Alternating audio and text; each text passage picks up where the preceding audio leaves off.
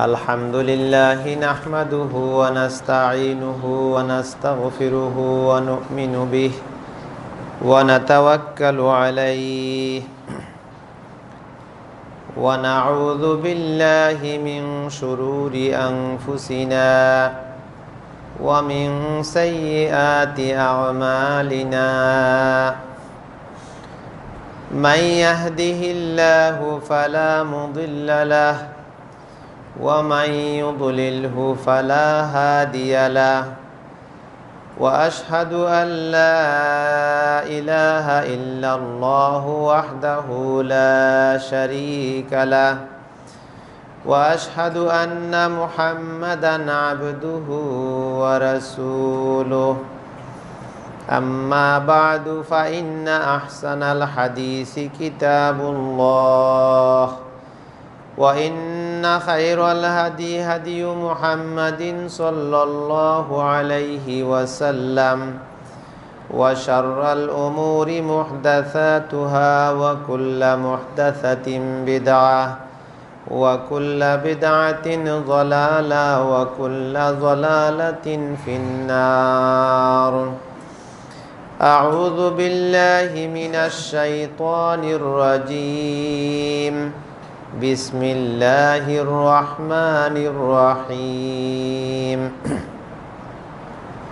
وما أمروا إلا ليعبدوا الله مخلصين له الدين. حنفاء ويقيموا الصلاة ويؤتوا الزكاة وذلك دين القيمة সম্মানিত মুসল্লিয়ানে কেরাম আমরা সর্বপ্রথম আমাদের সৃষ্টিকর্তা মহান আল্লাহ সুবহানাহু ওয়া তাআলার দরবারে অগণিত শুকরিয়া জ্ঞাপন করছি যিনি আমাদেরকে আজকের এই জুমার দিনে মসজিদে এসে উপস্থিত হওয়ার তৌফিক দান করেছেন এই জন্য বলছি আলহামদুলিল্লাহ। দরুদ সালাম বর্ষিত হোক। সর্বশেষ নবী মোহাম্মদুর রসুল্লাহ সাল্লাহ আলহি ওয়াসাল্লামের উপর এবং তার সকল সাহাবাই কেরাম, পরিবার পরিজনের উপর। আমরা এখন বর্তমানে যে সময়টি অতিবাহিত করছি, যে মাসে আমরা আছি, আরবি বারোটি মাসের মধ্যে এখন রজবের মাস অতিবাহিত হচ্ছে। আরবি মাসগুলোর সাথে আল্লাহ সুবাহানা ও তালা ধর্মীয় বিধিবিধানগুলো জুড়ে দিয়েছেন। এই জন্য আরবি মাসগুলি হিসাবে রাখতে হয়। তো কোনো কোনো ক্ষেত্রে দেখা যায় আমাদের আমলগুলোর মধ্যে কিছু সময়ের সাথে ভালো আমলের মিল আছে, কিছু সময়ের সাথে আমরা নিজেরা কিছু আমল তৈরি করে আপনার ভালো মন্দ মিক্স করে ফেলেছি। তো আমাদের দায়িত্ব হচ্ছে আমরা দুনিয়ার কোনো কিছু যেহেতু চোখ বন্ধ করে অন্ধভাবে করি না দুনিয়ার কাজ, কারবার, ব্যবসা, বাণিজ্য, কেনাকাটা আমরা বুঝে শুনেই করি। তা আমরা যেহেতু পরকালের একটা বড় ব্যবসা করতে চাই, সেই ব্যবসা হতে, হচ্ছে জান্নাতের ব্যবসা। আমরা দুনিয়াতে কিছু কাজ করব ইমান আনব, আল্লাহর পথে চেষ্টা ফিকির করব, আল্লাহর দিনের সাহায্য করব। এর মাধ্যমে আল্লাহ তালা আমাদেরকে জান্নাত দিবেন। আল্লাহ তালা এটা বলেছেন যে, ইয়া আমানু, হে ইমানদারগণ হাল আদুল্লুকুম আলা তিজারাতিন তুনজিকুম মিন আযাবিন আলিম। আমি কি তোমাদেরকে একটি ব্যবসা শিখাবো? যে ব্যবসা তোমাদেরকে কঠিন, যন্ত্রণাদায়ক শাস্তি থেকে তোমাদেরকে মুক্তি দেবে। সেই ব্যবসাটা কি? তুমিনুনা বিল্লাহি ওয়া রাসূলিহি ওয়া তুজাহিদুনা ফি সাবিলিল্লাহি বিআমওয়ালিকুম তা'লামুন তোমরা আল্লাহর প্রতি ঈমান আনবে এবং রাসুলের প্রতি ঈমান আনবে এবং তোমাদের জান, মাল কোরবান করে আল্লাহর পথে প্রচেষ্টা চালাবে, আল্লাহর দিনকে বিজয়ী করবে। তো এই ইমান আর আমল, এটা একটা ব্যবসা। তো এই পরকালের ব্যবসাটা আমাদের সঠিকভাবে হওয়া উচিত। যদি এই ব্যবসায় ভুল হয় পরবর্তীতে যাইয়া লস হয়, তাহলে আমাদের ঠিকই আমরা কাজ করলাম, ব্যবসা করলাম, কিন্তু আমাদের কোনো মুনাফা হবে না। এই জন্য আল্লাহ তালা সুরা আসরে আমাদেরকে সতর্ক করে করে দিয়ে বলেছেন যে, ওয়ালা আসরি ইন্নাল ইনসান আলাফি খুস যুগের কসম, মানুষ লসের মধ্যে আছে। সমস্ত মানুষ কিসের মধ্যে আছে? লসের মধ্যে আছে, ক্ষতির মধ্যে আছে। এরপরে আল্লাহ তালা বললেন ওয়া ওয়া ওয়া সবর।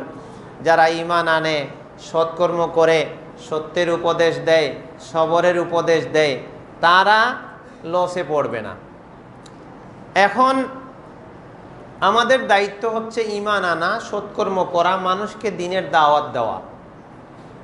এই কাজগুলি করতে যাইয়া প্রথম যেটা দরকার সেটা হচ্ছে আমার ইমান, আমার আমল, আমার দাওয়াত কিসের উপর ভিত্তি করে হবে? কিসের উপর তার ভিত্তি হবে? ভিত্তি হবে সহি ইলমের উপরে। ডাক্তার যেমন তার ডাক্তারি বিদ্যার উপর নির্ভর করে, ডাক্তারি করে, ইঞ্জিনিয়ার তার ইঞ্জিনিয়ারিং বিদ্যার উপর নির্ভর করে, ইঞ্জিনিয়ারিং করে কৃষক তার কৃষিবিদ্যার উপর নির্ভর করে কৃষিকাজ করে। অনুরূপভাবে ইমান, আমল, দাওয়াত এই কাজগুলি সম্পাদিত হবে সহি ইলমের উপর নির্ভর করে। সহি ইলম যদি না থাকে, তাহলে তার ইমানও হবে না, আমলও হবে না, দাওয়াতও হবে না। এই জন্য আল ইলমু কাবলাল কৌলি ওয়াল আমালি। কোনো বিষয়ে আমি কথা বলতে যাব, কোনো বিষয়ে আমি আমল করতে যাব তার আগে ওই বিষয়ের ইলম আমাকে জেনে নিতে হবে। আর এই ইলম কোথায় আছে? আল্লাহর কোরআনে আছে। আর নবী সাল্লাহ আলহিসাল্লামের সহি হাদিসগুলোতে আছে। এই কারণে কোনো মানুষ এই কথা বলতে পারে না। এই কথা বলার তার কোনো সুযোগ নাই যে, আমি তো মূর্খ মানুষ, কোরআন জানি না, হাদিস জানি না। তে যেমনে তেমনে যে যেভাবে বলল, একটা কিছু করে নিলাম এবাদত বন্দেগি করে নিলাম, একটা আঁকিদা পোষণ করে নিলাম, একটা বিষয়ে মানুষকে দাওয়াত দিয়ে দিলাম, এটা হবে না। এটা যাচাই বাছাই করার আছে, দেখার আছে বুজার আছে। এখন আমাদের, আমরা যে সমাজে বসবাস করি, এই সময়টা অত্যন্ত কঠিন একটা সময়। কীভাবে কঠিন? একটা কঠিন অবস্থা হচ্ছে যে কিয়ামতের সমস্ত পূর্বাবাস আলামতে সোহরা যেগুলো রয়েছে। রসুল সাল্লাহ আলহি আসাল্লাম ভবিষ্যৎবাণী করে গেছেন, সব আমাদের সামনে উদ্ভাসিত হয়ে আসতেছে। আর আরেকটি বিষয় হচ্ছে যে এখন দিনের ব্যাপারে, ধর্মের নামে সত্য আর মিথ্যা, হক আর বাতিলের মিশ্রণ এবং আপনার ঘুলাটে অবস্থা বিরাজমান। এই অবস্থা থেকে হক কুড়িয়ে নেওয়া, সত্যের নাগাল পাওয়া, সত্যের উপরে নিজে প্রতিষ্ঠিত হওয়া, সত্যের দিকে মানুষকে আহ্বান করা, এটা একেবারে সহজ বিষয় না। পরিশ্রম ছাড়া কিছুই হয় না। পরিশ্রম ছাড়া লেখাপড়া হয় না। পরিশ্রম ছাড়া আপনার ফসলে, খেতে ফসল বলে না। পরিশ্রম ছাড়া ব্যবসা হয় না। ঠিক অনুরূপভাবে ইমান, ইলম, আমল, দাওয়াত, এগুলোও পরিশ্রম লাগবে।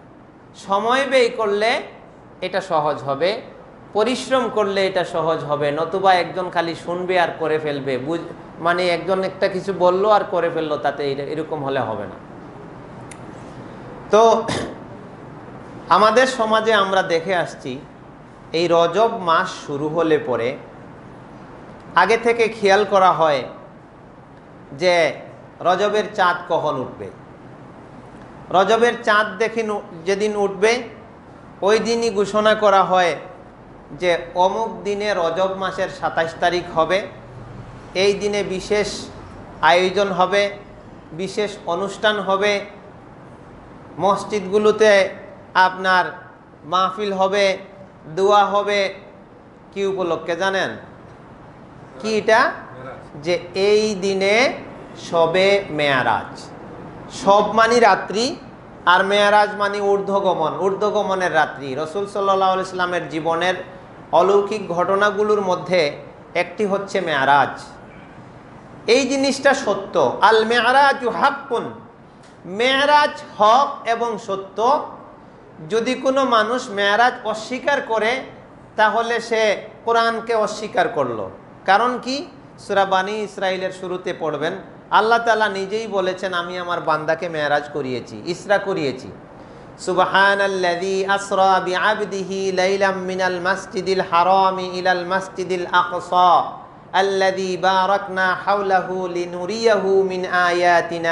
ইন্নাহু বলছেন, মহিমান্বিত, পবিত্র সেই সত্তা, যিনি তার বান্দাকে রাতের একটি অংশে মসজিদে হারাম থেকে মসজিদে আফসা পর্যন্ত ভ্রমণ করিয়েছেন। তারপরে হাদিসে বিশাল বর্ণনা আসছে। প্রত্যেকটা হাদিস গ্রন্থ নিলে দেখবেন বাবুল ইসরা একটা অধ্যায় আছে, যে মেয়ারাজের অধ্যায়। ওখানে সুন্দরভাবে দেওয়া আছে, নবী সাল্লাহ ইসলাম হ্যারেম থেকে মসজিদে আফসায় গেলেন, তারপরে ওখান থেকে উপর দিকে গেলেন বুড়া কানা হলো, এক এক আসমানে এক এক নবীর সাথে কথা হলো, তারপরে তিনি সব শেষে আল্লাহর সাথে তার কথা হলো। আসার সময় আল্লাহ তালা পঞ্চাশ ওক্ত নামাজ দিয়ে ফেলে দিয়েছিলেন। মুসা আলাইহিসালামের সাথে দেখা হলো। তিনি বললেন, কমিয়ে আনো। এইভাবে কমাইতে কমাইতে শেষে পাঁচ অক্ত দেওয়া হলো। এই যে ঘটনাগুলো আছে, ঘটনা বর্ণিত আছে, এটা হক এবং এটা সত্য। কিন্তু এই ঘটনাটা কবে কোন তারিখে হয়েছিল, এই বিষয়ে মুহাদ্দিসিন মুফাসিরিনে কেরাম একমত হতে পারেননি। এই জিনিসটা সুনির্দিষ্টভাবে রসুল সাল্লাহ ইসলাম বর্ণনা করে যাননি। সাহাবাই কেরামও এই তারিখকে জানা বা এই তারিখ উপলক্ষে কিছু করার কোনো গুরুত্ব অনুধাবন করেনি, করেননি। তো বিষয়টা এইভাবেই রয়ে গেছে। রসুল সাল্লাহ ইসলামের মেয়ারাজ হয়েছিল সত্য, কিন্তু এই মেয়ারাজটা কখন হয়েছিল এর সুনির্দিষ্ট তারিখ একেবারে একমত হয়ে সমস্ত মহাদ্দিসিন মুফসরিনে কেরাম বলেছেন যে অমুক তারিখে হয়েছিল, এইটা বর্ণনা নাই। তাহলে এই ব্যাপারে রজব মাসের সাতাইশ তারিখকে নির্ধারণ করা হয়ে থাকে। তো এই বিষয়ে সুনিশ্চিত না। কেউ কেউ বলেছেন যে যারা সুনির্দিষ্টভাবে বলে থাকেন ইমাম ইবনে হাজার আসকালানি রহমতুল্লাহ আলাই বলেছেন যে কিছু কিছু ইতিহাস বা মানে কিচ্ছার মধ্যে যেগুলি বলা হয়ে থাকে যে রজব মাসে, এই রজব মাসের সাতাইশ তারিখেই মেয়ারাজ হয়েছিল, এটা মিথ্যুকদের কথা। এটা সহিভাবে প্রমাণিত কোনো কথা না। আচ্ছা ধরে নিলাম, কোনো একদিন তো হয়েছিল, তাই না? এটা রজব মাসের সাতাশ তারিখে হোক বা যে কোনো দিনেই হোক, মেয়ারাজ সংঘটিত হয়েছিল। এখন যদি রজব মাসেই হয়ে থাকে, কথার কথা, তাহলে আমি কি করব। এইখানে আমার করণীয় কি বা বর্জনীয় কি? তারিখ নিয়ে তো গোলমাল আছে, ওটা বাদ দিলাম। এক, একদিন হয়েছে। এখন আমরা দেখলাম, দেখি যে এই রজব মাসের সাতাশ তারিখ রাত্রে জেগে জেগে এবাদত করা হয়। এই দিনে, এই রাত্রে একটা ভিন্ন একটা নিয়মের নামাজ চালু আছে, এটাকে বলা হয় সলাতুর রাগাইব। আপনারা নাম শুনছেন কিনা? বিভিন্ন বই পুস্তকে লেখা আছে। মাগরিবের পর আপনার বারো রাকাত নামাজ পড়তে হবে। সুরা ফাতেহার সাথে অমুক সুরা এতবার, অমুক সুরার সাথে অমুক সুরা এতবার, এইভাবে বিশেষ বিশেষ পদ্ধতি দেওয়া আছে। তো এই যে আমলগুলা, এর পরের দিন রোজা রাখার আমলগুলা, এখন এখানে একটা জিনিস দেখেন সালাত একটা আবাদত এবং এটা এই উম্মতের না। পূর্ববর্তী নবীরা যারা এসেছিলেন, সকল নবীদের সময়ে সালাতের আবাদত ছিল জাকাতের আবাদত ছিল সাউমের আবাদত ছিল। কিন্তু এই আবাদতগুলি করতে হবে আমাদের যেভাবে তৌকিফি অর্থাৎ সুনির্দিষ্টভাবে করার নিয়ম আছে সেইভাবে। নবী সাল্লাম আমাদেরকে যেভাবে করে দেখিয়ে গেছেন, বা আমাদেরকে নির্দেশনা দিয়ে গেছেন সেইভাবে আমরা রমাজানের মাসে রোজা রাখব। আল্লাহ তালা কোরআন দিয়ে ফরজ করে দিয়েছেন। শাহরু ফিহিল কোরআন। এখানে আপনার সামনে রমজানের মাস চলে আসতেছে। আল্লাহ তালা তারপরে বলবেন, ইয়া ইয়ুহাল্লাজিনা মানু কুতিবা আলাইকুমুসিয়াম হে ইমানদারগণ রমজান ফরজ করে দিয়েছি, রমজানের রোজা রাখা তোমাদের উপরে। কামা কুতিবা মিন কবলিকুম তাইলে এতে আর কোনো সন্দেহ নাই। আল্লাহই ফরজ করে দিয়েছেন, এখানে আর কথা বলার কে আছে?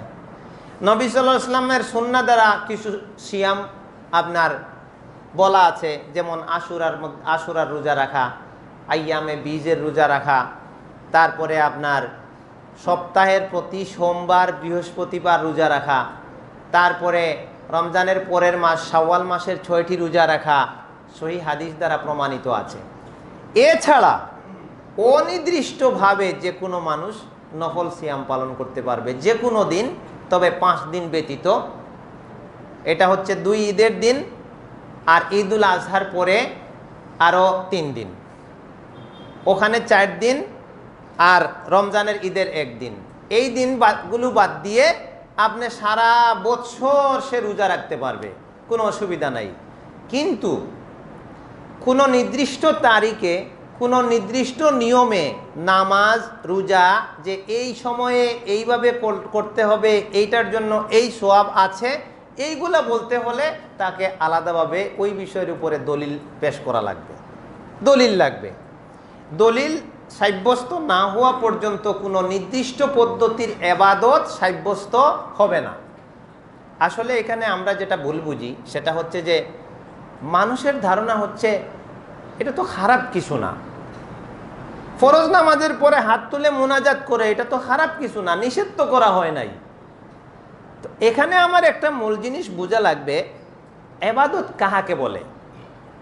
আমি শুরুতে যে আয়াতটা পড়েছিলাম, সুরা বাইনার পাঁচ নম্বর আয়াত, আল্লাহ তালা বলছেন ওয়ামা উমিরু ইল্লা লিয়াবুদুল্লাহ মুখলিসিন আলাহুদ্দিন মানুষকে এই অসিয়ত করা হয়েছে, এই নির্দেশনামা দেওয়া হয়েছে যে তারা একমাত্র এখলাসের সাথে এক আল্লাহ সুবাহন তালার এবাদত করবে। হুনাফা একেবারে একনিষ্ঠ হয়ে ওই ওকিমুসলা তারা সলাৎ কায়েম করবে ওয়ুতুজ জাকা তারা জাকাত প্রদান করবে। এটাই হচ্ছে সঠিক বিধান, সঠিক দিন, সঠিক ধর্ম। মানুষকে আল্লাহ তালা একমাত্র কার এবাদতের জন্য বাধ্য করছেন? একমাত্র আল্লাহর এবাদতের জন্য। আর এই এবাদতের নিয়ম পদ্ধতি কার থেকে শিকার জন্য বাধ্য করছেন? একমাত্র নবী মোহাম্মদুর রসুল্লাহ সাল্লাহ আলাইসাল্লাম থেকে আবাদত শিকার জন্য বাধ্য করছেন। নবী সাল্লাহ ইসলাম নিজেও বলেছেন, সাল্লু কামার আইতুমুনি উসল্লি। এখানে সলাতের কথা আসলেও শুধু সলাতের বিষয় না, আবার হজের ব্যাপারে আসছে, হুজু আন্নি মানা সিকাকুম আমার থেকে তোমরা এবাদতের নিয়ম জেনে নাও। আমার থেকে তোমরা সালাদ শিখে নাও। আর কোরআন মজিদের বিভিন্ন জায়গায় আল্লাহ তালা এটা আমাদেরকে বলে দিয়েছেন, লাকাদ কান আলাকুম ফি রাসূলিল্লাহি উসওয়াতুন হাসানা। সূরা আযাবের 21 নম্বর আয়াত এটা। যে তোমাদের জন্য আদর্শ কার কাছে রয়ে গেছে? ফি রাসুল ইল্লাহি আল্লাহর রাসূলের মধ্যে। সুতরাং আমি ভালো মনে করলে, করেই করব একটা জিনিস, বা করতে তো অসুবিধা নাই, এইভাবে আবাদত হবে না। সুরা কাহাফের শেষ বললে পাবেন, আল্লাহ তালা বলছেন যে কুল হাল নুনাবিউকুম বিল আমালা। আমল করেও ক্ষতিগ্রস্ত। আমল করেও ক্ষতিগ্রস্ত। এদের কথা আমি বলব তোমাকে। আল্লাজিনা দল্লা সাইহুম ফিল হায়াতির দুনিয়া। দুনিয়ার সারা জীবনের পরিশ্রম ভেতা চলে গেছে, নাউজুবিল্লাহ। দুনিয়ার সারা জীবনের পরিশ্রম বাদ হয়ে গেছে, বিফল হয়ে গেছে। এরপরে আল্লাহ বলছেন, ওহুম ইয়াহসাবুনা আন্নাহুম ইউহসিনুনা সুনআ। কিন্তু তারা কাজগুলি ভালো মনে করেই করেছিল।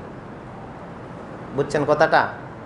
তারা কাজটাকে নেকি মনে করে করেছিল, ভালো মনে করে করেছিল, উত্তম মনে করে করেছিল, আর আল্লাহ বলছেন, তাদের কাজটা ব্যর্থ হয়ে গেছে। তারা আল্লাহ এবং আল্লাহ রসুলকে অস্বীকার করে। তারা আল্লাহ এবং আল্লাহ রসুলের বিধানকে হুবহু ফলো করতে চায় না।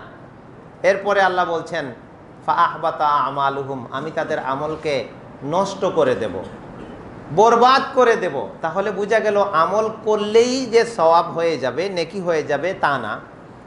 আবার নেকি হয়ে গেলেই নেকি যে টিকে থাকবে, তাও না, নেকি বরবাদ হয়ে যাবে। এই কারণে আমরা রজব মাসে কি করব? রজবের মাসটা হচ্ছে সম্মানিত মাসের একটা। বারোটি মাস আল্লাহ নির্ধারণ করে দিয়েছেন। এর মধ্যে মিনহা আর বা আতুন হরুম, চারটি মাস সম্মানী। এর মধ্যে একটা হচ্ছে রজবের মাস। এই রজবের মাসে আমরা স্বাভাবিক নিয়মে এবাদত করতে পারি। তাহাজুদ পড়ব, কোরআন পড়ব, হাদিস পড়ব, এলিম শিখব, আল্লাহর কাছে দোয়া করব। স্বাভাবিক যে আবাদতগুলি সব সময় চালু থাকে, সেইগুলি করে যাব। আর সামনে যেহেতু রমাজান আসতেছে, সেই জন্য আমরা এখন থেকে প্রস্তুতি নিব, আল্লাহর কাছে দোয়া করব যে আল্লাহ তালা তুমি যেহেতু সামনে রমাজানের মাস গুণা ক্ষমা হওয়ার একটা সুবর্ণ সুযোগ এই সময়টা পর্যন্ত তুমি আমাকে সুস্থ অবস্থায় নিও এবং রমাজানের মাসটা যাতে আমি সুন্দরভাবে কাটাইতে পারি, তোমার নৈকট্য লাভ করতে পারি, আমি রোজা রেখে এবাদত করে আমার জীবনের পাপগুলো মোচন করতে পারি, সেই তৌফিক আমাকে দান করো। এইভাবে আমরা এটাকে নিতে পারি। এরপরে এখানে একটা বিষয় আছে। একটা দোয়া আছে, আপনারা এটা অনেকে জানেন, বিভিন্ন কিতাবে পাওয়া যায়। এই যে কথাটা বললাম, এটার আরবি একটা দোয়া আছে, সনদের মাধ্যমে নবী সাল্লাহ সাল্লামের দিকে নিষ্পত করা হয় যে, আল্লাহুম্মা বারিক লানা ফি রাজাবা ও শাহবান ও বাল্লিগনা রামাজান। এই এবারতটা হাদিস আকারে নবী ইসলামের দিকে নিষ্পত করা হয়। তবে যে সনদের মাধ্যমে এই হাদিসটা আসছে, এই সনদের মধ্যে এমন একজন রাবি আছেন যাকে মুহাদ্দিসিনে কেরাম বলেছেন মাত্রু। ওনার কথা গ্রহণযোগ্য নয়। সেই জন্য এই হাদিসের এই দুয়ার কথাগুলি ভালো। কথাগুলি কি? আল্লাহুম্মা বারিক লানা ফি রাজাবা ও শাহবান হে আল্লাহ, রাজাব এবং শাহবান মাসে তুমি আমাদেরকে বরকত দান করো, বারাকা দান করো। ও বাল্লিক না রমাজান আর রমজান পর্যন্ত আমাদেরকে পৌঁছিয়ে দাও। এই কথাগুলি ভালো। তবে এই কথাগুলি বলা যায় বা এই ধরনের অর্থে বলতে পারেন, কিন্তু এই কথাটা নবিসর ইসলামের সনদ থেকে প্রমাণিত, আমরা এটা বলব না, যেহেতু সহি সনদে প্রমাণিত না। এইভাবে বা এই ধরনের কথা আমরা বিভিন্নভাবে বলতে পারি যে, আল্লাহ, তুমি আমাদেরকে সুস্থ রাখো, তুমি রমজানে এই রমজানে শাহবানে বরকত দান করো, রমজান মাস পর্যন্ত আমাকে সুস্থ অবস্থায় পৌঁছিয়ে দাও। আল্লাহর কাছে এই ধরনের দোয়া খারাপ না। কিন্তু এই এই দোয়াটাই রসুল ইসলাম এর দ্বারা প্রমাণিত, এটা মনে করা যাবে না, যেহেতু সনদটা সহিনা এরপরে এই মাসের মধ্যে কিছু আমল আছে, অবশ্যই এগুলো আমাদের মধ্যে তেমন একটা নাই, বিভিন্ন জায়গায় করে থাকতো। যেমন এই মাসে বেশি পশু জবাই করা, এটা শিয়ারা করে থাকতো। তারপরে এই মাসে বেশি বেশি রোজা রাখা, এতেকাফ করা, তারপরে এই মাসকে নির্ধারণ করে উমরা করা, এই ধরনের এবাদত নবিসাম থেকে বা সাহাবাই কেরাম থেকে প্রমাণিত নয়। রুমজা রমাজানে উমরা করার ফজিলত হাদিসে, সহি হাদিস দ্বারা প্রমাণিত আছে। নবী সাল্লাম বলছেন, কেউ যদি রমাজানে উমরা করে, তাইলে সে যেন আমার সাথে হজ করল। এটা সহি হাদিস। তো যাই হোক এই যে বিষয়গুলো বিভিন্ন মাসকে কেন্দ্র করে, বিভিন্ন এরপরে আবার সামনে এই যে শাহবানের মাস আসতেছে। সেই শাহবানে আপনার নিঃসে শাহবানকে কেন্দ্র করে যে সকল আমল এবং যে সকল ফজিলত আছে। আমাদের কথা হচ্ছে যে যেটা আমরা মানুষকে এবাদত থেকে সরাইয়া দিতে চাই না, এটা কেউ চাইবে না। কোনো একজন সত্যিকার মুমিন বান্দা মানুষকে এবাদত থেকে সরাইয়া দিতে চাইবে না কখনো। যদি কেউ এমনটি করে যে মানুষ এবাদত থেকে সরে যাক তাহলে ওর ওর তো ইমানই নাই। মানুষকে এবাদতের দিকে ডাকতে হবে। এবাদত অবশ্যই লাগবে। ইমান আর আমলের মাধ্যমে মানুষ আল্লাহর জান্নাতের নিয়ামত লাভ করবে। তবে যেহেতু ভিত্তিহীন আমল নবিস ইসলাম নিষেধ করেছেন যে আমল প্রমাণিত না, সেটা পরিত্যাজ্য হবে মর্মে তিনি সতর্কবাণী করেছেন এবং বলেছেন, খাইরুল উমুর আপনার শারুল উমুর এ মহদাসা তুহা দুনিয়াতে যত খারাপ কাজ আছে, তার মধ্যে সবচেয়ে খারাপ কাজ হচ্ছে এবাদতের নামে নতুন এবাদত তৈরি করা। নাওজুবিল্লা খারাপের মধ্যে সবচেয়ে খারাপ কাজগুলোর মধ্যে একটা হচ্ছে, যেটা এবাদত না, ওইটারে এবাদত বানিয়ে ফেলা। আর আমরা যেটা এবাদত, সেইটারে এবাদত মনে করি না। সবচেয়ে গুরুত্বপূর্ণ এবাদতের মধ্যে একটা এবাদত হচ্ছে কোরআন বুঝা। কোরআনের উপরে ইমান রাখা। কোরআন অনুযায়ী নিজের জীবন গঠন করা। তা আমরা কজনে কোরআন বুঝি? আমরা এটার জন্য কতক্ষণ সময় দেই? এটা যে গুরুত্বপূর্ণ এবাদত, এটা আমরা বুঝি না। আর সবে বরাত এর রাইত আসলে ঠিকই আমরা মাগরিবের পরে, একবারে পাঞ্জাবি টুপি পরে, একেবারে মসজিদে চলে যাব আর নামাজ টামাজ পরে একেবারে মোনাজাত দিয়ে মনে করব যে সব পাপ মোচন হয়ে গেছে। অথচ ওই দিনই ফজরের নামাজের আর কোনো খবর থাকে না। বা ওই দিন চলে যাবে, পরের দিন আর কোনো খবর নাই। তো বছরে একদিনের আবাদত দিয়ে জান্নাত কামানো, এটা নবী ইসলাম বলেন নাই। আল্লাহ তালা নবীকে বলছেন, ওয়াবুদ রব্বাকা হাত্তা ইয়াতিয়াকাল ইয়াকিন মৃত্যু আসা পর্যন্ত তুমি আবাদত করে যাও। মৃত্যু আসা পর্যন্ত আবাদত করতে থাকো। এখন যে আবাদত প্রমাণ আছে, আমরা অবশ্যই করে যাব। সুন্নতকে অবহেলা করা যাবে না। সুন্নতকে কি করা যাবে না? অবশ্যই কোনো সুন্নতকে অবহেলা করা যাবে না। আমরা একজন দেখা গেল যে একটা মানসিকতা ভালো না, যে আমার বিপরীত মতাদর্শী একজনে একটা আমল করতেছে।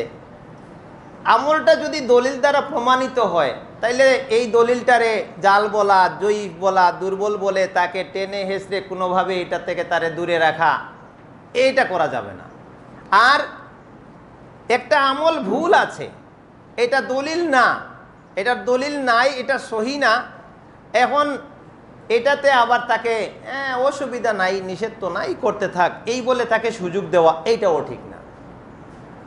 দলিল যেখানে আছে আমি সেখানে থাকব। এই মানসিকতা যদি কেউ লালন করে সে হেদায়ত পাবে হোক পাবে। এটা আমার বিরোধীর কাছেও থাকতে পারে। আমি এক মাঝহাব মানি আরেকজন ভিন্ন মাঝহাব মানে। কথার কথা।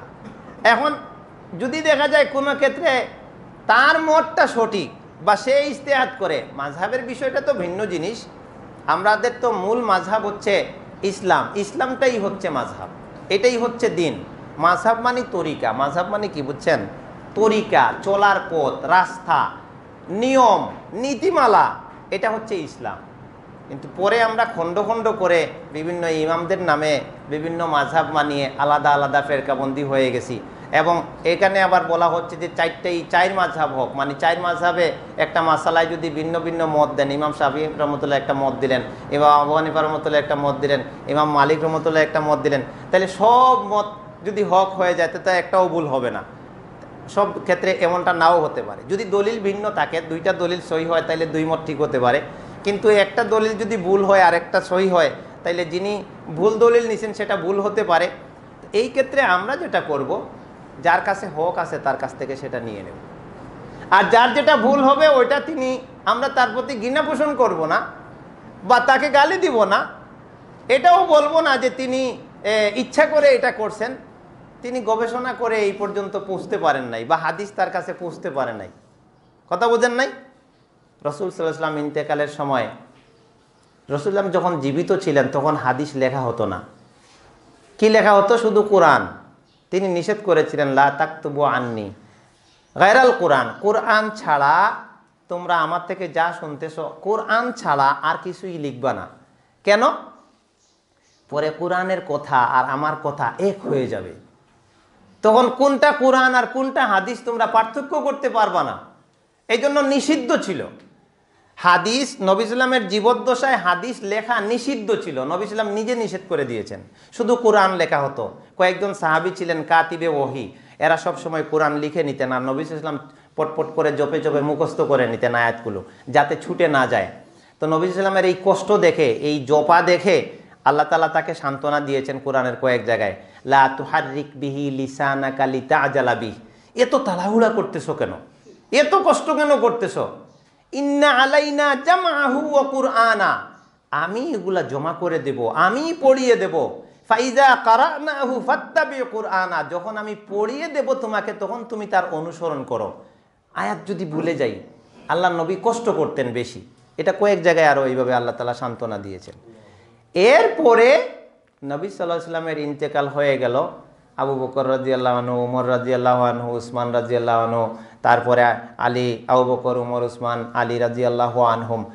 তাদের এই খেলাফতের সময়টাও এইভাবেই চলছে, নবী সাল্লামের সব হাদিস মুখে মুখে ছিল। এই ব্যাপারে কি ফয়সালা? ওই অমুক বলে ফেলছেন, নবী ইসলাম এই ফয়সালা দিয়েছেন। নবী, আরেকজন বলতেছেন, নবী ইসলাম এইভাবে বলে গেছেন, সমাধা হয়ে যাচ্ছে। এরপরে ওমর ইবনে আব্দুল আজিজ রহমতুল্লাহ আলাইহি ওনার সময়ে বিভিন্ন যুদ্ধে সাহাবাই কেরাম দেখা যায় যে অনেকে শাহাদাত বরণ করতেছেন। তাইলে তখন তিনি বললেন যে সাহাবাই কেরাম যদি দুনিয়া থেকে যখন চলে যান, আর এই নবীর হাদিসগুলি তাদের সবার মুখস্থ, এগুলো যদি এখন লেখা না হয়, তাহলে দিন হারিয়ে যাবে। দিন হারিয়ে যাবে, কারণ হাদিসগুলোর মধ্যে দিনের ভান্ডার কোরআন মজিদের ব্যাখ্যা হাদিসগুলোর মধ্যে আছে। আল্লাহ তালা কোরআন মজিদে বলেছেন, সালাত কায়েম করো, আকিমুস সালাত। এখন আপনি শুরুতে দাঁড়াইবেন, আল্লাহ আকবার বলবেন। হাত উঠাইবেন, এই কথা আল্লাহ কোরআনে বলেন নাই। হাত উঠাইতেন নবী সাল্লাহ ইসলাম এটা রসুল সাল্লামের আমল দ্বারা প্রমাণিত, এই কথা পাওয়া যাবে হাদিসে। তারপরে দাঁড়ানোর পরে হাত বাঁধতে হবে, এই কথা আল্লাহ কোরআনে বলেন নাই, এটা নবী ইসলাম হাত বেঁধে আমল করেছেন, এই কথা পাওয়া যাবে নবীর হাদিসে। এরপরে সানা পড়তে হবে আল্লাহমা বাইদ বাইনি অথবা সুবাহানাকা, যেটা পড়েন এইটা কোরআন মজিদের কোথাও পাবেন না। সুবাহানাকাও কোরআন মজিদে নাই আল্লাহমা বাইদ বাইনিও নাই। এটা কোথায় আছে? হাদিসে। তখন কি করা হলো? তিনি এই হাদিস লিপিবদ্ধ করার অনুমতি দিলেন। এরপরে আল্লাহ তালা এমন এক ঝাঁক লোক তৈরি করে দিলেন এই নবীর উম্মতের মধ্যে যে এরা তাদের মাথার মধ্যে কাজই ঢুকলো যে নবীর যত কথা আছে সব সংগ্রহ করতে হবে। আল্লাহ এটা আল্লাহ তালা তাদের মাথায় ঢুকাই দিলেন। এক এক সময়ে এক একটা জিনিস ঢুকাই দিলেন। এরপরে তাদের তারা ইমাম বুখারির জন্ম হলো, ইমাম মুসলিমের জন্ম হলো, ইমাম তিরমিজির জন্ম হলো। তারা সব হাদিসগুলি কুড়াইয়া, হাদিসের সনদ যাচাই করে আবার কোনটা সহি, কোনটা জয়ীফ, এইগুলা যাচাই বাছাই করে হাদিসগুলা লিখতেন। আর এর আগে এই হাদিস গ্রন্থগুলো তৈরি হওয়ার আগে সাহাবিদের পরে তাবিনদের পরে আপনার তবে তাবিনের জমানায় এসে আল্লাহ তালা এমন কিছু লোকদেরকে তৈরি করেছিলেন। তখন হাদিস, তারাও মহাদ্দিস ছিলেন, তবে অত বড় বড় গ্রন্থ ওইভাবে রচিত হয়নি যাচাই বাছাই। তারা ছিলেন যাদেরকে আমরা ইমাম মনে করি। ইমাম আবু হানিফা রহমতুল্লাহ আলাহি আশি হিজড়িতে জন্ম, দেড়শো হিজড়িতে মৃত্যু। এরপরে ইমাম শাফি, ইমাম মালিক এই ধরনের তারা ছিলেন বড় বড় ইসলামী গবেষক। তারা কি করতেন? কোনো মাসলা আসলে তারা দেখতেন কোরআনে আছে কিনা। তারপরে দেখতেন তার নিজের কাছে যা হাদিস আছে এগুলোতে আছে কিনা। পেলে ওই অনুযায়ী ফয়সালা দিয়ে দিতেন, আর সমস্যা নাই। কিন্তু যে ব্যাপারে হাদিস পান নাই, কোরআন পান নাই ইস্তিহাত করতেন। ইস্তিহাত করে একটা ফয়সালা দিতেন, দিয়ে বলতেন, যদি তোমরা পরে হাদিস পেয়ে যাও, তাহলে ওই ফতোয়াটা, হাদিসের ফতোয়াটা নিয়ে নিবা, আমার ফতোয়াটা বাদ দিয়ে দিবা। এই কথাটা প্রত্যেক ইমাম বলে গেছেন। কারণ তখন তাদের সবার কাছে হাদিস মজুদ ছিল না। পরে হাদিসগুলো গ্রন্থাকারে লিপিবদ্ধ হয়েছে। এখন তো সারা দুনিয়ার হাদিস এক সিডির মধ্যে পাওয়া যায়, একসাথে পাওয়া যায়। এই জিনিসটা আসলে এই ভুল বুঝের কারণে আমাদের এই সমাজের মানুষ বিভিন্ন ভাগে ভাগ করা একদল আরেক দলরে আমরা দেখতে পারি না, ও কয়ে, এটা তো ইমাম সাহেব কি ভুল বুঝছেন নাকি? ইমাম সাহেব তো আর নবী না। আমরা ইমাম সাহেবকে অবশ্যই ছোট করে দেখব না। আমরা ওনাদের একটা পায়ের লোমের সমানও হইতে পারি না। তারা এত বড় আলেম। তারা ইস্তেহাত করছেন। তারা এই জাতির দিনের খেদমত করে গেছেন। কিন্তু কেউ তো এই কথা বলেন নাই যে আমি সব, আমি যা বলছি সব ঠিক আছে। নবীকে যেভাবে মানা যাবে, আমার কথাও এইভাবে এইভাবে নির্ভুলভাবে মেনে নিবা। এই কথা কোনো ইমাম সাহেব বলেন বরং তারা বিপরীত কথা বলছেন যে আমাদের কথা যাচাই বাছাই না করে তোমরা নিবা না। যদি আমাদের কথা হাদিসের বিপরীত হয়, দেয়ালের মধ্যে ছুঁড়ে মেরে দিবা। হাদিস সই হলে সেটাই আমার মত হবে, এটাই তোমরা মানবা। এই কথাগুলি বিভিন্নভাবে তাদের থেকে প্রমাণিত আছে। বিভিন্ন কিতাবে মাঝাবের কিতাবগুলিতে এই কথাগুলি লেখা আছে। তাহলে ইমামদের কোনো দোষ আছে? কোনো দোষ নাই। দোষ আমরা কি করি? ওই অতিবক্ষী দেখাইতে যাইয়া যে আমি অমুক ইমামরে মানি, উনি যা বলছেন সব মেনে নিব। ওনার ভুল হইতে পারে না। না, তাইলে তো আমি ওনারে নবীর স্তরে নিয়ে গেলাম। বুঝেন নাই? তাইলে আমি ওনারে নবীর স্তরে নিয়ে গেলাম। ওই জিনিসটা করা যাবে না। হ্যাঁ যেটা ঠিক ওনার এটা কোনো অসুবিধা নেই। ইস্তেহাদের ভুলও হয়, সঠিকও হয়। ইস্তেহাদ করলে যে সঠিক সিদ্ধান্তে পৌঁছে সে ডাবল সওয়াব পায়, নবী সাল্লাম বলেছেন। আর যদি ভুলও করে, তাও একটা সওয়াব পায় কেন? তিনি কষ্ট করেছেন। তো শেষে যেটা বলতে চাচ্ছি, আল্লাহ তালা আমাদেরকে বলছেন, সুরা আলে ইমরানের পঁচা পঁচাশি নম্বর আয়াতে ইসলামি মিনহু মিনাল যে মানুষ, এটা খুব সূক্ষ্ম একটা কথা, যে মানুষ ইসলাম ছাড়া, ইসলামকে বাদ দিয়ে বা ইসলামের মধ্যে নাই এমন কোনো জিনিসের অনুসরণ করবে এটাকে সে এবাদত বানাবে, এইটাকে সে নেকির কাজ বানাবে, এইটাকে এই ধরনের জিনিসকে সে তার জীবনের আদর্শ বানাবে। আল্লাহ তালা বলছেন ফালাইয়ুকবালামিনহু তার এটা গ্রহণযোগ্য হবে না। ওহুয়াফিল আখিরাতি মিনাল খাসিরিন আর সে হয়ে যাবে পরকালে কিসের অন্তর্ভুক্ত? ক্ষতিগ্রস্তদের অন্তর্ভুক্ত। এই জন্য আমি দেখি আমার বাপদাদারা একটা করে করতেছে। সমাজে একটা জিনিস আছে, তারপরে মুরব্বীরা একটা জিনিস করছে, আমার নেতা নেত্রীরা একটা জিনিস করতেছে বা করে যাচ্ছে। আমি দেখব সর্বোচ্চ চেষ্টা করে, যাচাই করে যে এটা ইসলামে আছে না নাই। যদি ইসলামে থাকে, আলহামদুলিল্লাহ আমি মেনে নিব। আর যদি না থাকে, আমি এটা বর্জন করব। আমার নেতা নেত্রী বলে দিল, তুমি মাথার উপরে নেতা নেত্রীর ছবি জুলাইয়া বসতে হবে। এখন আমি দেখব এটা আমার ইসলামে আছে না নাই। যদি ইসলামে থাকে, দশটা জুলাইয়া দেন, চতুর্দিকে জুলাইয়া দেন, সমস্যা কি? আমি যদি মুসলমান হই, আর যদি ইসলামে না থাকে, একটাও জুলানো যাবে না। এই নেতার সম্মানার্থে ছবি জুলাইয়া রাখলে এটা হবে কবিরা গুনাহ। আল্লাহ রসুল ইসলাম বলেছেন, লা ইয়াদখুলু বাইতান ফিহি কালবুন আও সুয়ারুন। যে ঘরে আপনার কুকুর থাকে, আর কোনো প্রাণীর ছবি থাকে, মানুষ, পশু, পাখি ইত্যাদির ছবি থাকে, সেই ঘরে আল্লাহর ফেরেশতা পর্যন্ত প্রবেশ করে না। নাউজুবিল্লাহ। তে, আমি এখানে কি করলাম? নেতার কথা মানতে যাইয়া আমার গড় থেকে আল্লাহর রহমতের ফেরেশতা তাড়াইয়া দিলাম। আমার উপরে রহমত কীভাবে আসবে? আমার ঘরে শান্তি কি করে আসবে? আমার ঘরে তো ঝগড়াই থাকবে। আমার বাচ্চা কাচ্চা তো নামাজি হবে না। আমার বাচ্চা কাচ্চা দিনদার হবে না। আমার বাচ্চা আমার কথা শুনবে না, ওরা বেয়াদব হবে, বেনামাজি হবে। শয়তানি শিখবে, সারাদিন মোবাইলে আড্ডা দেবে, গান গান শুনবে, ওই পর্নোগ্রাফি দেখবে। ও ভালো মানুষ হবে না, কারণ আমার ঘরে আল্লাহর রহমত নাই। আমি নিজেই রহমত তাড়াইয়া দিছি। এটা আমার নিজের কাজ নিজের দোষ, আল্লাহর দোষ না।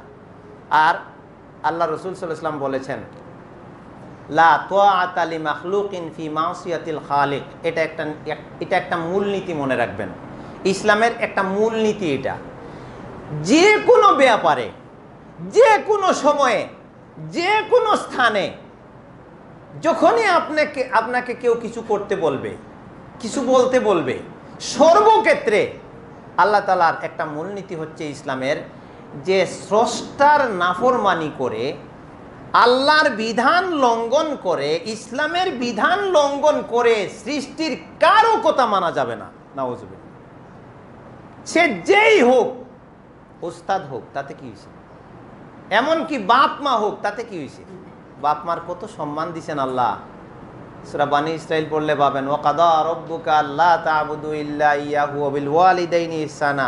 বান্দারে তোর রব, তোর আল্লাহ তোরে নির্দেশ দিচ্ছেন, তুই এক আল্লাহর এবাদত করবে। আল্লাহ ছাড়া কারও এবাদত করবে না। আর এর পরেই তোরে যেটা আমি বলতেছি, আল্লাহ বলছেন, সেটা হচ্ছে তোর বাপ মার সাথে ভালো আচরণ করবি। তারপরে আবার বলতেছেন, ইম্মা ইয়াবলুগান্না ইন্দাকাল কিবারা আহাদুহুমা ও কেলাহুমা। বিশেষ করে খবরদার লক্ষ্য রাখবে, যদি তোর তোর কাছে তোর বাপ মা দুইজন অথবা দুইজনের একজন বার্ধক্য অবস্থায় পৌঁছে যায় ফালা তাকুল্লাহুমা উফিন এমন আচরণ করবি না যে তারা উফ শব্দ শব্দ পর্যন্ত বলে।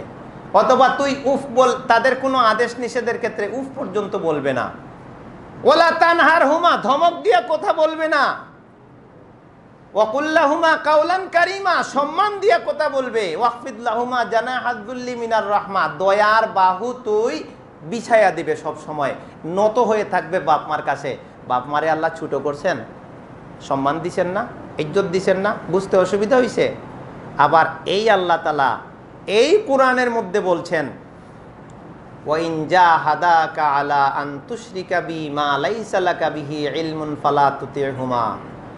বাপ মার সম্মান তো আমি তোমাকে বুঝাইছি, বাপ মার আদর করতে বলছি, যত্ন করতে বলছি, তাদের আনুগত্যও করতে বলছি। কিন্তু বাপ মা যদি তোমারে বলে তুমি শিরিক করো ফালা তুতে হুমা বাপ মার কথা তুমি মানবা না। পাইছেন এবার?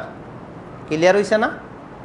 তাহলে বোঝা গেল, আল্লাহর নির্দেশ লঙ্ঘন হয় এমন কোনো কাজ যেই অর্ডার করুক, কারও কথা কি করা যাবে না? কারও কথা মানা যাবে না। সেইখানে ইসলামের কথা মানতে হবে। সারা দুনিয়ার মানুষ আমার বিপক্ষে চলে যায়, যাক, সমস্যা নেই। আল্লাহ যদি সাথে থাকেন, কথাটা বুঝছেন কারও সাথে যদি আল্লাহর সাহায্য থাকে, আর সারা দুনিয়ার মানুষ বিপক্ষে যায়, তার কোনো সমস্যা আছে? আর সারা দুনিয়ার মানুষ তার পক্ষে আর আল্লাহ তার বিপক্ষে, তার কোনো লাভ হবে? এইটার নামই হচ্ছে ইমান এইটার নামই হচ্ছে তাকদির, এইটার নামই হচ্ছে আকিদা। একবার ইবনে আব্বাস রাজিয়াল্লাহকে আল্লাহ রসুল সাল্লাম তার সোয়ারির পিছনে বসাইলেন। কুন্তু রিদফান নবী সাল্লু আলহি ওয়াসাল্লাম, আমি নবীর পিছনে সওয়ারিতে বসা ছিলাম।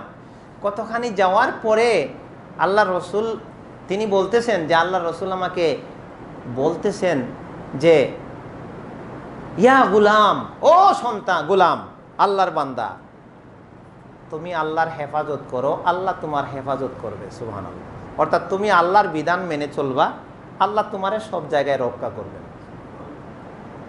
ইহফাজিল্লাহ তাজিদুহু তুজাহাকা তুমি আল্লাহর হেফাজত করো, আল্লাহর বিধিবিধান মেনে চলো, সব জায়গায় তুমি আল্লাহকে সামনে পাবে মানে আল্লাহর সাহায্য তোমার সামনে থাকবে। এরপরে বলছেন কি কথাটা জানেন? ওয়ালাম আন্নাল উম্মাতা লাউ ইস্তামাউ আলা শুনো, সারা দুনিয়ার মানুষ একজুট হয়ে গেছে। এখন তো কোনো দলের নেতা যদি ডাক দেয়, তাইলে ওর দলের লোক একজুট হয়, আরেক দলের লোক তার দলে যাবে না। এরকম হয়। আর আল্লাহ তালা এখানে বলছেন, না, ধরে নেও সারা দুনিয়ার মানুষ একটা দল করে। এখানে ধর্মেরও বিভেদ নাই, রাজনীতিরও বিভেদ নাই, সারা দুনিয়ার মানুষ এক দল করে। এবার আল্লাহ বলছেন যে, ওই সারা দুনিয়ার মানুষ এক হয়ে গেছে, আর সবাই তোমার একটা অকল্যাণ করতে চায়। তুমি একলা একদিকে, তোমার একটা ক্ষতি করতে চায় সারা দুনিয়ার মানুষ মিলে। আল্লাহ নবী বলছেন লাম ইল্লা আলাইকা। ওই আসমানে যেটা তোমার ফয়সালা করবেন, ক্ষতি, ওখানে যদি কিছু লেখা না থাকে, সারা দুনিয়ার মানুষ একজুট হয়ে তোমার কিঞ্চিত পরিমাণ ক্ষতি করতে পারবে এরপরে বলছেন যে সারা দুনিয়ার মানুষ একজুট হয়ে গেছে, তোমার উপকার করার জন্য তোমার উপরে উঠায় দেব। কিন্তু আল্লাহ তালা যদি ওখানে না লেখেন, তারা একটুও তোমার উপকার করতে পারবে না। তাইলে আমরা সমাজের মানুষের কাছে কালারিং হব। এই জন্য এই বিধান মানা যাবে না। এই হক কথা বলা যাবে না। বাপমার কাছে কালারিং হয়ে যাব এই জন্য এটা বলা যাবে না। ইমাম সাহেব হক কথা বলবেন না, যদি চাকরিটা চলে যায়, তাহলে কি হবে? এই চিন্তাগুলো যদি কেউ মাথায় রাখে, ওই মানুষ হক পাবে না। সত্যের উপরে দাঁড়াইতে পারবে না। এই কথা বলা আছে সুরা আরাফের তিন নম্বর আয়াতে। আল্লাহ তালা খুব সুন্দর করে বলছেন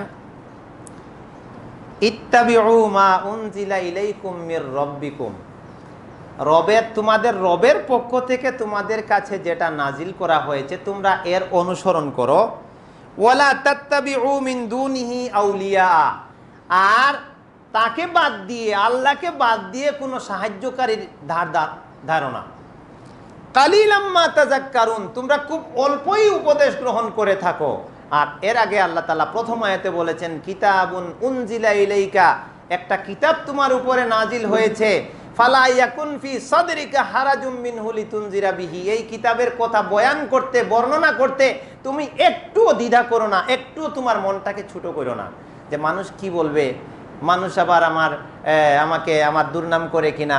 আমার হাদিয়া বন্ধ হয়ে যায় কিনা, আমার যদি দাওয়াত বন্ধ হয়ে যায় আবার, এই ধরনের চিন্তা করলে কেউ হকের দাওয়াত দিতে পারে না, হক প্রচার হবে না। তাওয়াক্কুল কার উপরে হবে? আল্লাহর উপরে। এই কারণে আসলে আমি শেষ করতেছি, যে কথাটা বলে সময়ও শেষ হয়ে গেছে। ইসলাম আসলে কঠিন কিছু না।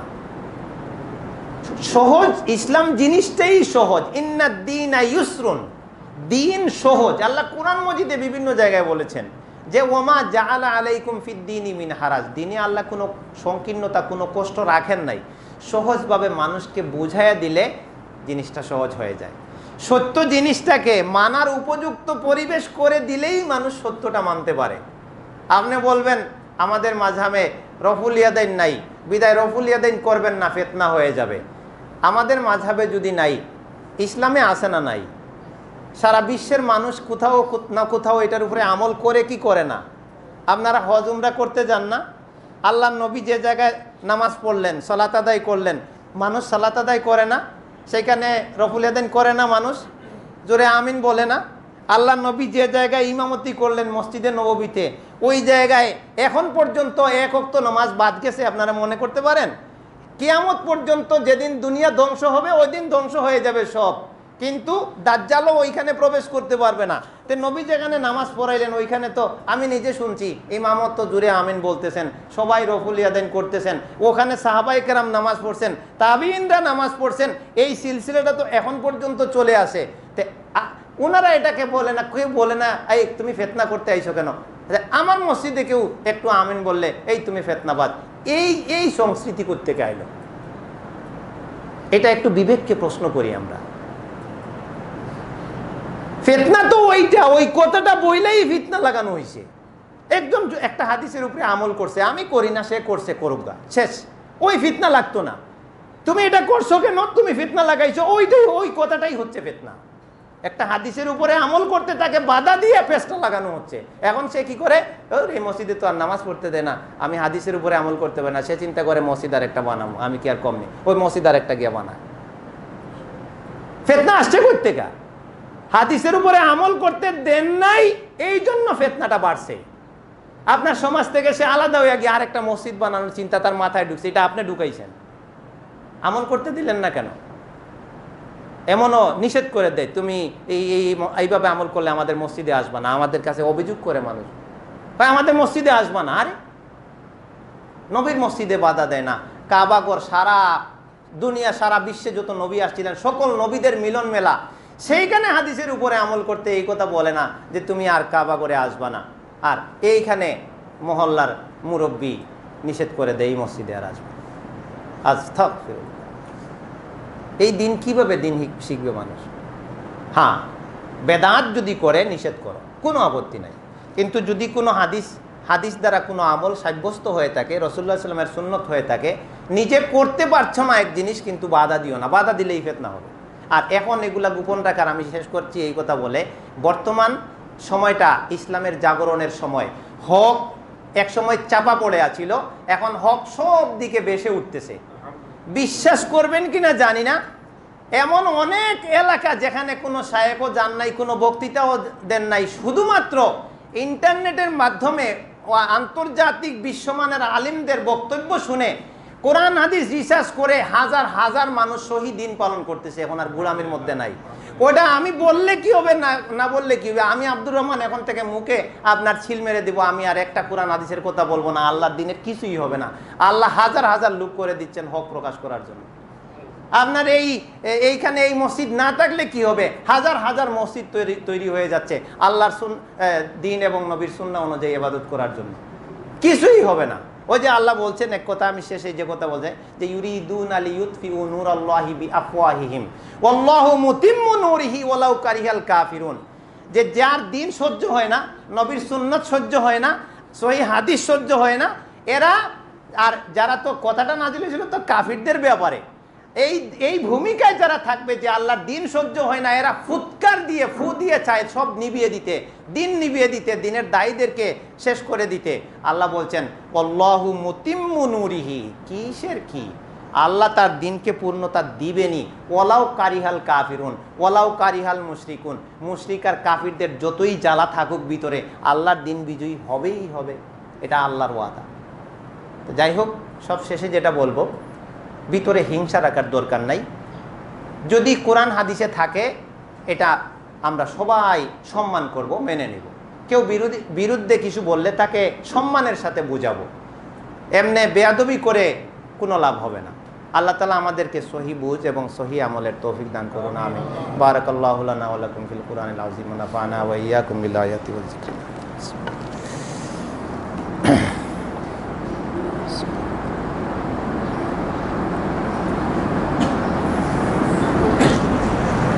الحمد لله كفى وسلام على عباده الذين اصطفى أما بعد فأعوذ بالله من الشيطان الرجيم بسم الله الرحمن الرحيم إن الله وملائكته يصلون على النبي يا أيها الذين آمنوا صلوا عليه وسلموا تسليما اللهم صل على محمد وعلى آل محمد كما صليت على إبراهيم وعلى آل إبراهيم إنك حميد مجيد اللهم بارك على محمد وعلى آل محمد كما باركت على إبراهيم وعلى آل إبراهيم إنك حميد مجيد. اللهم انصر الإسلام والمسلمين واخذل الكفرة واليهود والمشركين. اللهم اغفر لنا ولوالدينا رب ارحمهما كما ربياني صغيرا. واعف عنا واغفر لنا وارحمنا أنت مولانا فانصرنا على القوم الكافرين. إن الله تعالى جواد كريم ملك بر رؤوف رحيم দাঁড়িয়ে কথা সোজা করেন